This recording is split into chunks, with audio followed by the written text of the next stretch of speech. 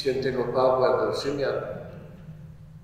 Apostoł narodów przedstawia nam niezwykle skrótowo, syntetycznie obraz życia chrześcijańskiego. Życie to ma przede wszystkim wymiar religijny, polegający na łączności z Bogiem.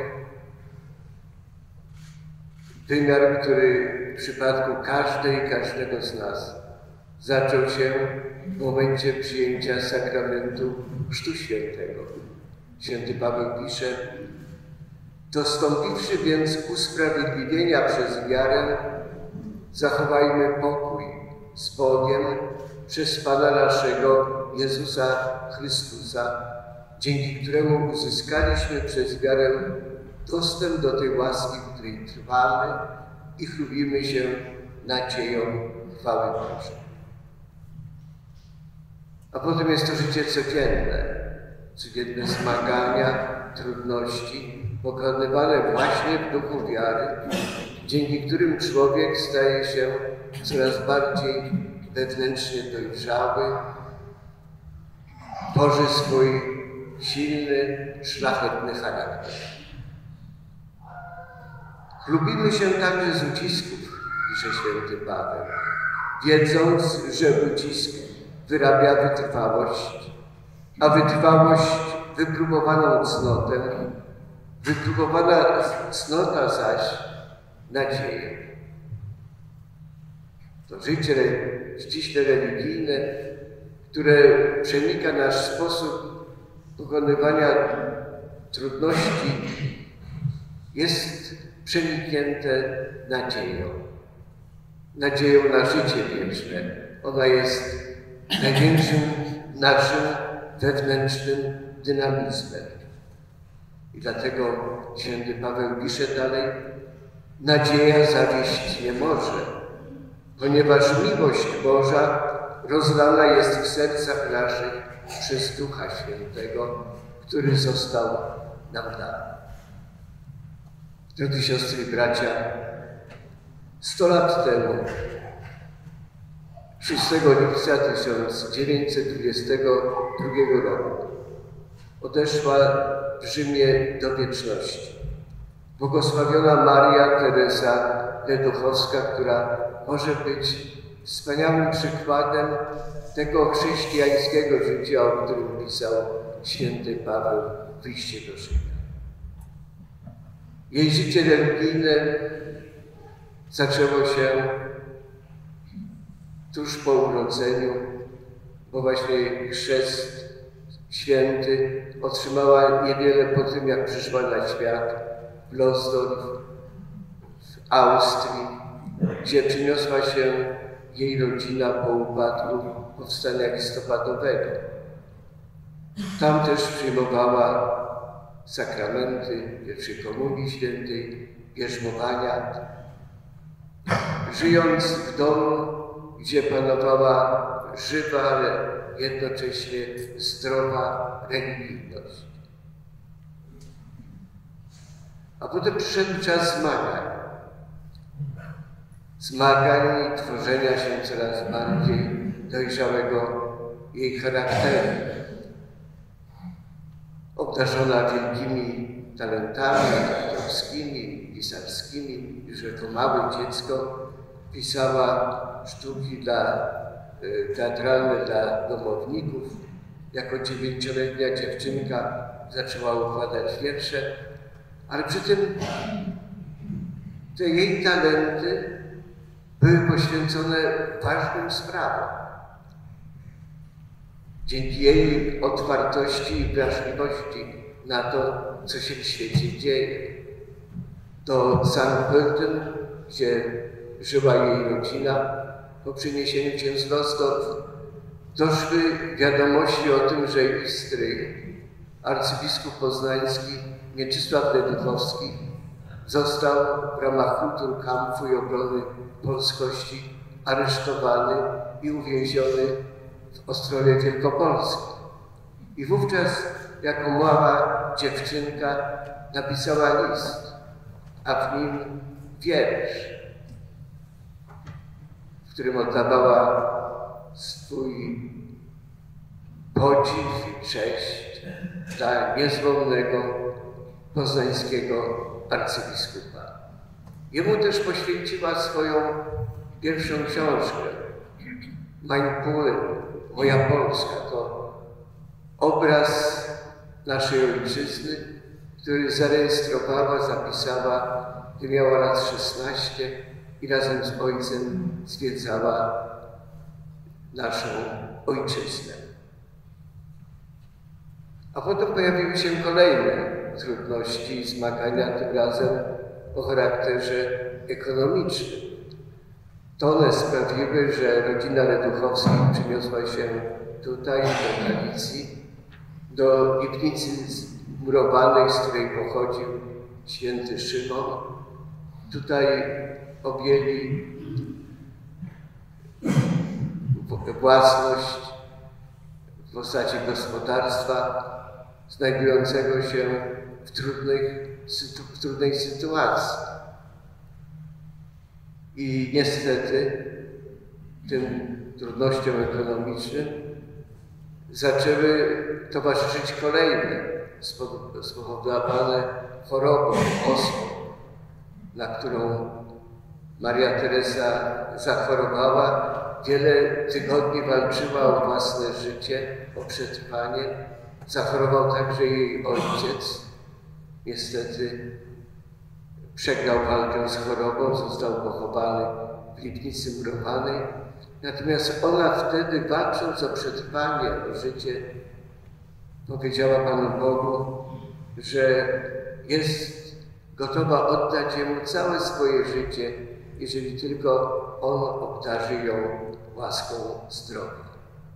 Wyszła z, niej, z tej choroby, jednakże na jej twarzy zostały bardzo widoczne ślady osób. Udała się później do Salzburga, gdzie była jedną z dam dworu wielkich książąt toskańskich, którzy tam przebywali. I tam właśnie w 1886 roku spotkała się z ideą misyjną, z wielkimi apelami, które arcybiskup kardynał Algieru Karol Marcial Lagiżeli kierował do całego świata, prosząc o wsparcie dla, i dla misjonarzy, zwłaszcza misjonarzy pracujących dla Bożego Zbawienia w Afryce. I wśród wielu broszurek, które kardynała Lagiżeli, które trafiły do jej rąk, znalazła zdanie, które trafiło ją prosto w serce i które otwarło jej wizję jej dalszego życia. A zdanie to brzmiało, komu Bóg dał ten talent pisarski, niechaj go użyje na korzyść tej sprawy, ponad którą nie ma świadczeń. I oddała się właśnie sprawą misji, zaczynając po ludzku rzecz biorąc od zera, ale właśnie dochodziła w jej życiu do głosu ta nadzieja, o której pisał święty Paweł, że zawieść nie można. A wszystko dlatego, że miłość Boża jest rozlana w naszych sercach. W niej rozlewała się miłość do ludzi czekających na Ewangelię. I miała nadzieję płynącą z Ducha Świętego, że sprosta tym wezwaniom, które do niej kierował sam Bóg. Zerwała więc z dworem, ograniczyła swoje relacje z możnymi tego świata, a założyła pierwsze pismo poświęcone sprawom misji Echo z Afryki. Jednocześnie nawiązała bardzo bogatą korespondencję z misjonarzami, by jej dzieło nie ograniczyło się, to, to dzieło nie ograniczyło się do tylko jej działalności. Widziała, jak sprawa misji głoszenia Ewangelii jest ważna dla wszystkich. Ułożyła statut sodalicji świętego Piotra Klawera, Sudalicji, która miała poświęcać się propagowaniu idei misyjnej w całym świecie. Kiedy obchodziła swoje 31 urodziny 29 kwietnia 1894 roku podczas audiencji u papieża Leona XIII przedstawiła mu swój zamiar i spotkała się z papieskim błogosławieństwem. Rok później, dwa lata później, w 1996 roku, na ręce kardynała Hellera, biskupa Salzburga, złożyła śluby zakonne. Siedzibą Sudalicji były najpierw dwa skromniutkie pokoje w Salzburgu przy kościele świętej Trójcy. Tam też założyła pierwsze muzeum afrykańskie, ale przede wszystkim oddawała się pracy redakcyjnej, pisarskiej. Echo z Afryki zyskiwało rozgłos, zaczęło wychodzić w 12 językach, także w języku polskim. Pod koniec jej życia osiągnęło nakład około 100 tysięcy egzemplarzy, a ponadto przyczyniała się do tego, że publikowano broszury misyjne, kalendarze, odezwy, katechizmy i książeczki religijne w językach tych narodów afrykańskich, y, pośród których pracowali wtedy misjonarze. Jej działalność spotkała się też z aprobatą ze, ze strony Stolicy Apostolskiej, poza tym wstępnym błogosławieństwem Leona XIII, otrzymała już oficjalne pozwolenie na działalność ze strony Kongregacji Rozkrzewienia Wiary, kierowanej właśnie przez jej stryja, księdza kardynała Mieczysława Lębkowskiego.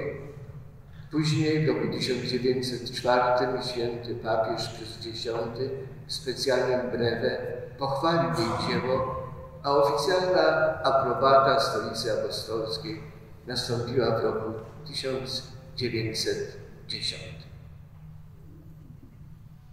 Nieco wcześniej siedzibę swojej sodalicji przyniosła do Rzymu.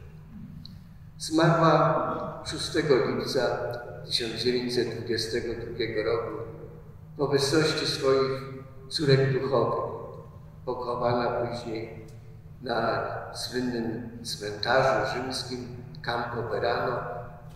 Od 1934 roku jej relikwie przeniesiono do Domu Generalnego Sodalicji, który znajduje się tuż w pobliżu słynnej, wspaniałej bazyliki Santa Maria Maggiore.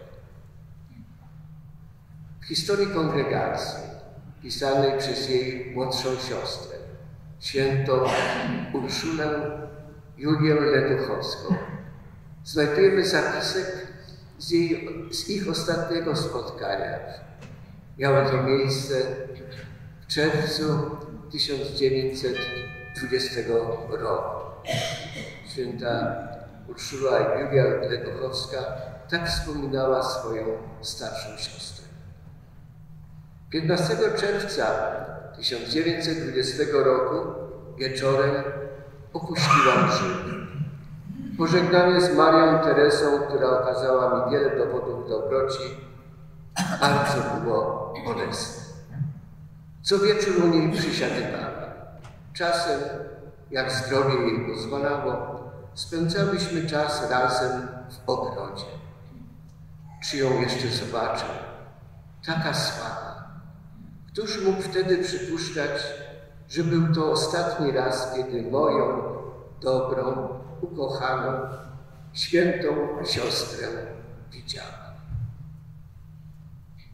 Wspólnota świętych, święta Urszula Julia nie bez powodu widziała w swojej starszej siostrze Marii, Teresie także świętą. I istotnie, tuż po wojnie w 1945 roku rozpoczął się jej proces beatyfikacyjny 30 lat później, 19 października podczas obchodów Wielkiego Roku jubileuszowego, święty także ojciec papież Paweł VI ogłosił ją błogosławioną. Paradoks. Nigdy w Afryce nie była, ale jak mało kto przyczyniła się do tego, aby wspierać pracę misjonarską misjonarzy na całym świecie. I stąd, nie będąc w Afryce, była nazywana przez Afrykańczyków Matką Afryki. Podczas homilii beatyfikacyjnej święty papież Paweł VI powiedział między innymi Maria Teresa wyprzedziła czasy, w których żyła, tak bardzo niesprzyjające apostolstwu kobiet. Przewędrowała całą Europę, szerząc wszędzie apostolstwo misyjne. Katolicy z Afryki opłakiwali odejście swej matki, jak ją nazywali, ale przez działalność założonego przez siebie Instytutu żyjącego jej duchem nie przestają i dzisiaj doświadczać wielkości i siły tej miłości, która nią owładnęła. Nie zawiodła ją nadzieja, ponieważ miłość Boża była rozdana w jej sercu. Miłość do Boga w Trójcy Świętej Jedynego, która kazała robić wszystko, aby pomagać w zdobywaniu ludzkich serc, ludzkich umysłów, które mogłyby, poznawszy Ewangelię, wysławiać jedynego Boga w trzech osobach. A wszystko dlatego, że w jej sercu, dzięki jej działalności, dzięki jej modlitwie, w sercach tylu, tylu ludzi, i tych mieszkających w Afryce, i ich misjonarzy, a także siostrek klawerianek założonych przez nią. Został dany i działał tak przemożnie sam Duch Święty. I w ten sposób także wypełniało się po wiekach to polecenie, które dał Chrystus apostołom tuż przed swoim niebowstąpieniem. Idźcie na cały świat. Nauczajcie wszystkie narody, udzielając im chrztu w imię Ojca, Syna i Ducha Świętego i ucząc ich tego wszystkiego, czego Was nauczyłem. Amen.